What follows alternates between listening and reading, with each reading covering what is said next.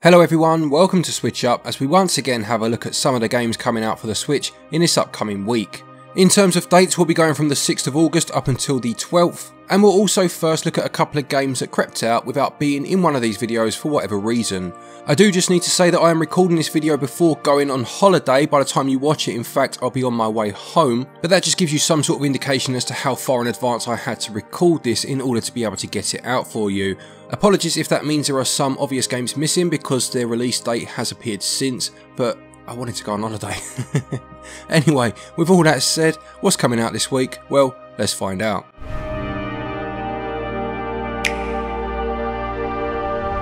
Let's start with a couple of games that are already out then, and the first one is Gale of Windoria.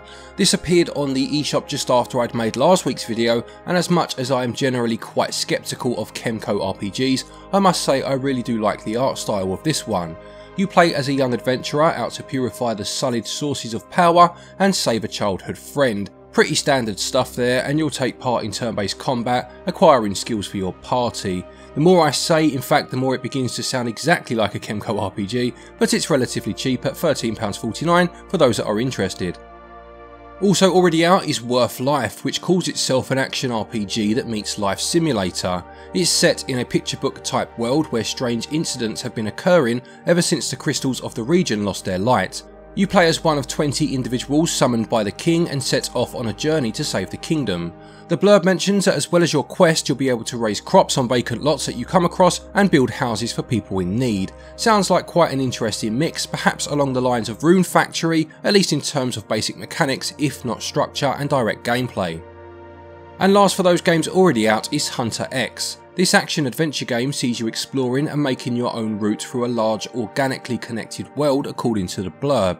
You can create your own personal fighting style with combos, dodging, guarding and parrying as you take on a host of enemies and bosses. There are over 170 items to find including a number of different weapons and it costs £11.29 or your regional equivalent.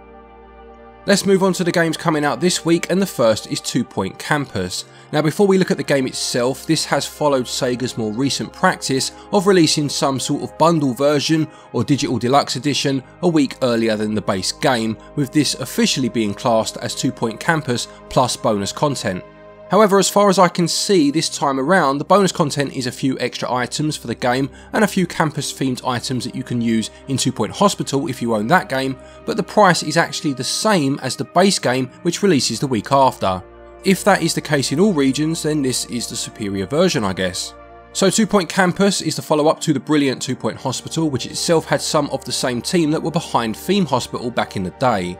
This time round it is a university campus that you are building, but the courses on offer here have a taste of the outlandish to them, such as Night School, where you learn how to joust, and Gastronomy, where students will build giant pies. Whilst the setting of this one doesn't appeal to me as much as the hospital, I still cannot wait for it as these games are just so much fun. A bit confusing with the bundle and standard versions being priced the same, perhaps that's been changed since I recorded and that was more of a placeholder, I don't know, but if that is the case don't forget the base version is out the week later.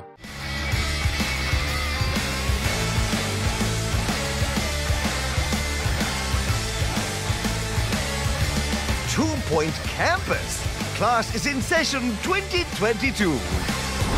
Then we have Book Quest, which is a top-down adventure game as you embark on a medieval journey to reclaim a family heirloom.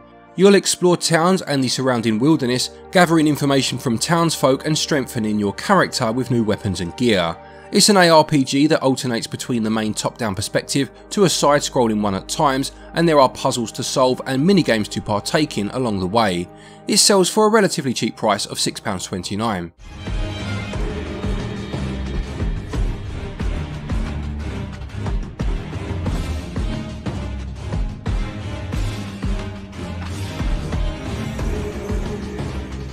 We also have Cleo, A Pirate's Tale, which is a solo developed top-down pirate adventure according to the blurb. You play as a young girl who has the chance to escape her boring life when she finds a pirate logbook and is visited by a ghost who provides her with a mysterious hint.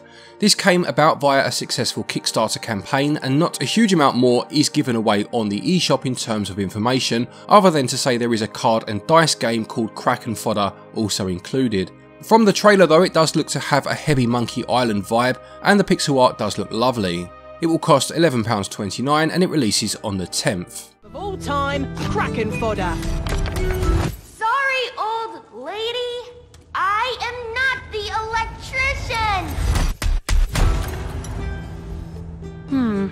If the door is open. Then we have Lost in Play, which is a puzzle adventure game based on a brother and sister's adventure stuck inside their own imaginations.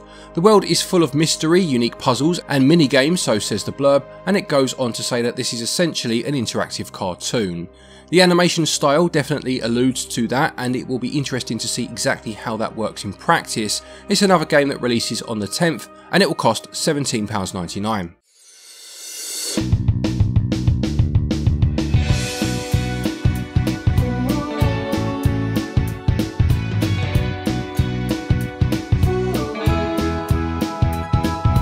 The next game is called Arcade Paradise, which I did play actually at the last EGX event in London earlier this year. From the little I played of it, it's an interesting blend of arcade style retro games and first person management as you work in a laundrette but have dreams of opening your own arcade. You must carry out daily duties and chores, but you can play the arcade games you install as you progress. Installing more arcades means earning more money, and it will be interesting to see exactly how this works, as I only played it for about 15-20 minutes. I did spend some time talking to the dev that day, who also made the game Vostok Inc., a game I find very enjoyable, and this one is out on the 11th, and it will cost £15.99 or your regional equivalent. Dominate the high score table and become a legend! a legend! You won't play games that look this good at home until 2021! So don't be a dweeb! Come on down to the new, expanded, mega-sized arcade The penultimate game for the week is Cult of the Lamb, published by Devolver Digital. You play as a possessed lamb saved from annihilation by an ominous stranger and must repay the debt by building a following in his name.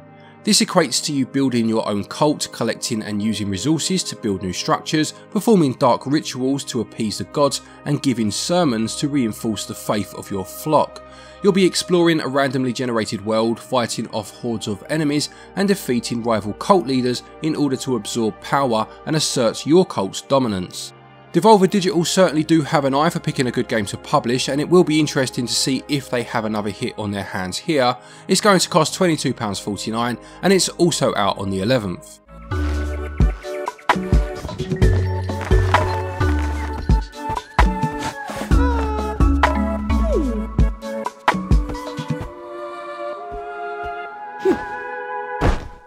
And finally for the week we have Super Bullet Break, which I assumed was going to be an Arkanoid type game of some description, but it isn't at all, it's a strategy deck builder according to the blurb.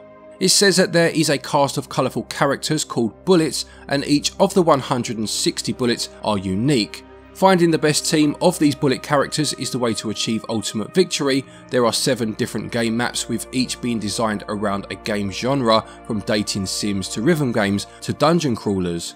I must say it's quite hard to get a sense of what it's all about from that eShop description, but it certainly sounds interesting. It will cost £16.99, but you can get 10% off of that price up until launch.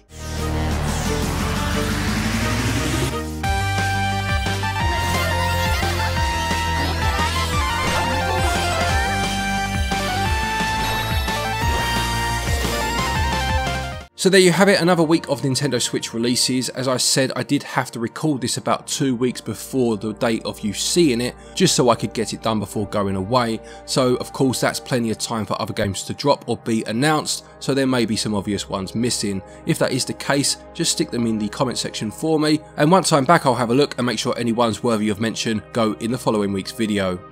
Don't forget if you are looking for eShop credit to get yourself any of these games, you can buy eShop cards from our website, switchup.gg. Link is in the top pin comment and the description. And there is also a link down there to Play Asia if you're looking to import anything. Use the link and use the code stated down there and you can get yourself 5% off of an order. A quick thank you to our Patreons as always for your continued support and to each and every one of you for watching our videos. Take care and until next time, happy gaming.